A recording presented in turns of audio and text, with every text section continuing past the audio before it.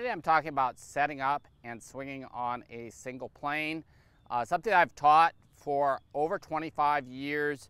Uh, I had the pleasure years ago uh, to meet Moe Norman uh, and to be able to watch him hit golf balls and study him. And Moe was a very interesting guy, and I really learned a lot from him. Um, I wish I had listened to what he told me many times, uh, and you can hear him saying, uh, swing like you, not like me, uh, which he said in his voice, swing like you, not like me. Um, I wish I'd have understood what it means, but basically it's take the concept and make it your own. And uh, from years of experience in teaching his swing um, and working on it myself and trying to compete with it, uh, I really have boiled it down to the simplest concept possible and it's not a lot like Moe's swing except in a few points. I'm going to talk about that today and I'm going to talk about how it's different and how you go about actually doing it.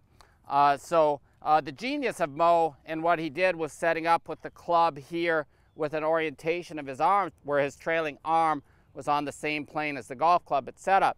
Now he had his arms very straight, uh, although if you look at impact, you'd see that his trailing arm was somewhat bent.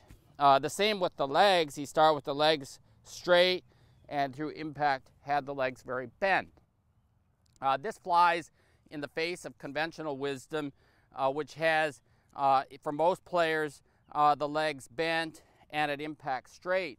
And there's a simple reason for that is the legs are always going to be straightening to create power. And that straightening also is what helps get the hands leading through impact, which creates more accuracy. Moe developed his method uh, from the ages of 17 to 19, and it's very unique in the way that he dropped into the ball um, and released the club uh, through impact. Obviously, it worked for him, but he was also left arm dominant and played right handed, uh, which not many people are. So, trying to copy his swing, I found was very difficult. And so, uh, what I found is copying more uh, what the top players do as far as their legs are concerned and the way the body's working through impact uh, works far better and it's even easier on my body. I used to have uh, some back pain and tightness in my body, uh, which I no longer have here, moving naturally through the shot. Moe also kept the trailing heel down on the ground in contact with the ground through impact. Although when he was younger, it actually rolled to the inside of the foot uh, so that part of his foot was up off the ground through impact. Um, I've found that uh, to be extremely limiting as far as distance uh, is concerned. As you see, all top players straightening their legs and the heel comes up. For some of them a little bit, for some of them a lot, coming into impact. The guys that are hitting it farthest tend to have more uh, lifting of the heels through impact. So I'll set up also uh, with the trailing arm a little bit bent and I stand much closer to the ball. The closer that we can stand to the ball, the easier we make it to deliver the grip leading forward without having to drop into the ball. Uh, so the closer I stand, it's also far easier to swing the club back and through on line, on the target line, than when I'm far away from the ball. You can see a huge arc of the swing. It's very difficult. Uh, Moe did it here by this move here, dropping in.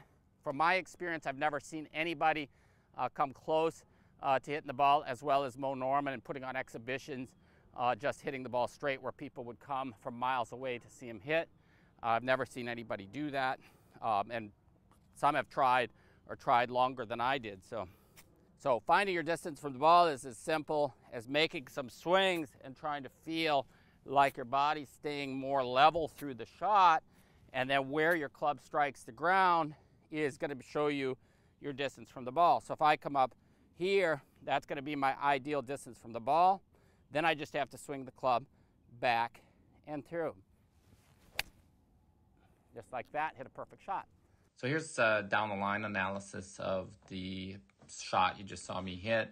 And you can see how at setup, if you look at the yellow line along the golf club, and how it's in line with the right arm up through the elbow.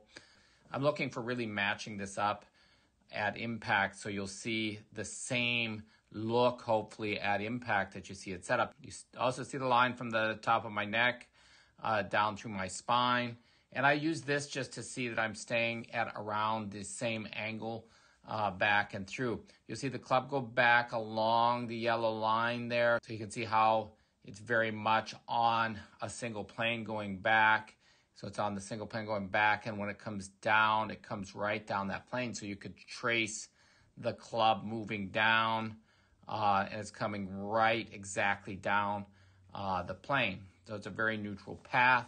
And what I saw with people uh, in the past who were trying to take the club to the inside on the way back, uh, an interesting thing happens, and that's that at least 95% of them that I saw, they go up this way, so the club's like that at the top, and then I'll draw a red line coming down. The downswing comes down something like that.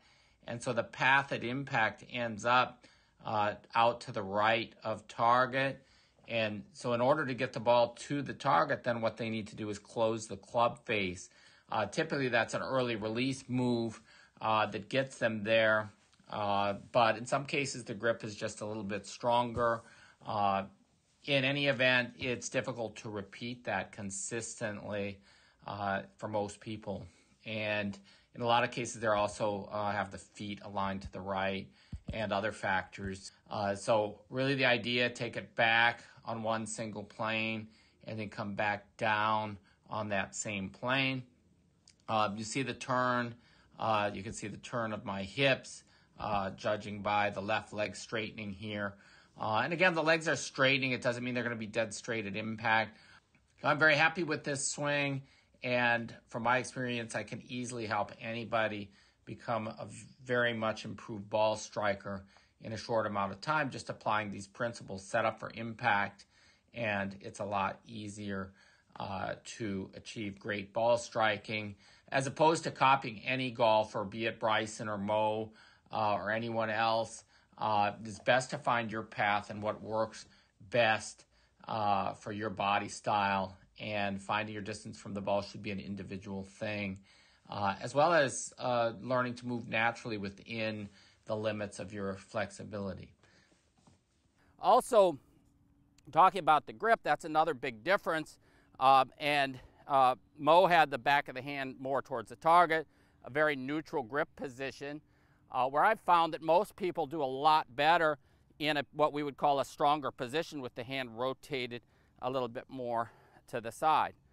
Uh, so the thumb more uh, as I look down, so the thumb is more on the right side of the grip. And the trailing hand is also customizable. It doesn't have to be as far under as Moe had it. And Moe, again, he was lead arm dominant, so he could put the trailing hand under and it wouldn't close the face. For most people, that's what's closing the face. So I'll just put it on in a more neutral position with the palm of the hand more towards the target. And then when I get set up, it's simply back and through. And another perfect golf shot. And they all go straight. Um, it's a great thing. It's very easy uh, to learn. My learning program takes you really step by step how to customize the grip and setup, uh, as well as how to learn how to make perfect impact with the grip leading through impact, which gives you the flat spot, a square spot, and uh, a straight line through impact. It makes it easier to hit the center of the club face and it really eliminates hitting fat and thin golf shots.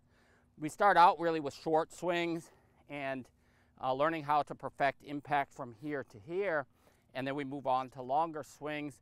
Uh, and again, it's customizable. Members can submit videos uh, to me through the free V1 Golf app.